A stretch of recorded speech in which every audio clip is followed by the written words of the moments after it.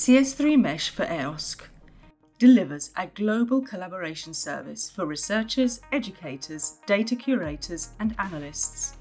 It provides an interoperable platform to easily share and deploy applications and software components while providing rich collaborative workflows.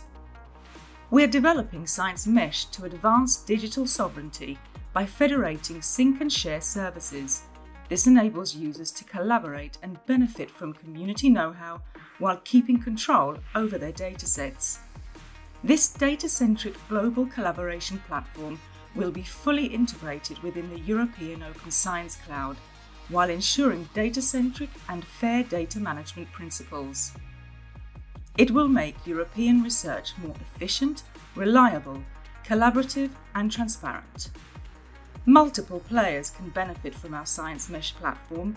Data and services can be used by academia, developers, and the industry.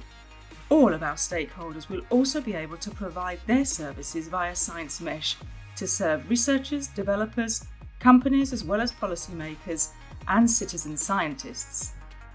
Join CS3 Mesh for EOSC as an early adopter and get privileged access to a global platform providing services for data driven science and research collaboration. Take part in our initiative to advance open science in Europe.